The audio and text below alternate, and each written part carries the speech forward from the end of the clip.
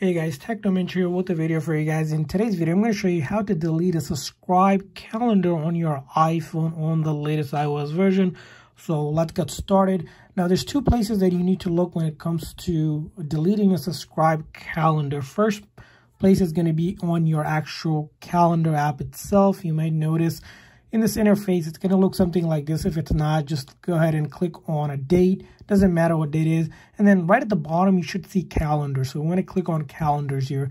Now, if you're using multiple calendars, maybe one for work, play, or just decide one that you have added or subscribed to, right? We need to go ahead and find the calendar you want to delete. In our case, I'm going to delete this squad calendar. So click on that eye icon up here which will give me the option to delete this calendar. So if I click on delete, as you can see here, all events associated with that will be also deleted. So keep that in mind. If you delete a calendar, all the events on your calendar will be removed. So I click on delete and it's gone now.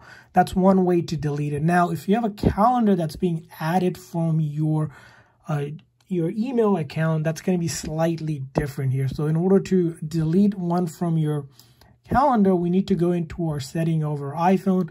From there on, we need to go to right here where it says calendar.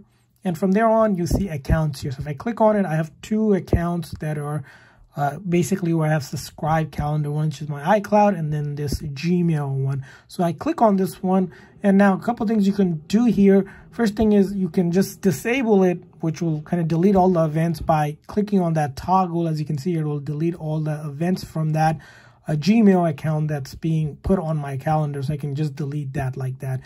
And if you want, you can also delete the whole account. But keep in mind, if you do delete the whole account, things like your email, uh, other things like notes associated with that with that email will also be removed. So just disabling it will be enough to delete the subscribe calendar off your iPhone. So that's how you do it on the latest version of the iPhone. I hope this video was helpful. If so, please consider the like and subscribe button for more tips and tricks for your iPhone and other iOS devices. See you guys next time.